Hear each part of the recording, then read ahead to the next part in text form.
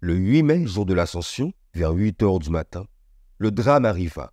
La montagne pelée rentra en éruption. La nuée ardente et l'onde de choc font 28 000 morts. Siparis fut protégé par son cachot, et il eut de graves brûlures, certes, mais il n'en mourut pas. Il y resta ainsi quatre jours et trois nuits sans manger. Et le 11 mai, il sera découvert par trois hommes venus du mont Neuro. C'est alors qu'il est gracié et vient à sa rencontre M. Bellet, qui est un directeur du cirque Barnum and Bailey, un cirque américain. Il l'engage et l'expose ainsi. Puis, il va abandonner Siparis au Panama. Et c'est là que Siparis mourut du paludisme à 55 ans, en 1929.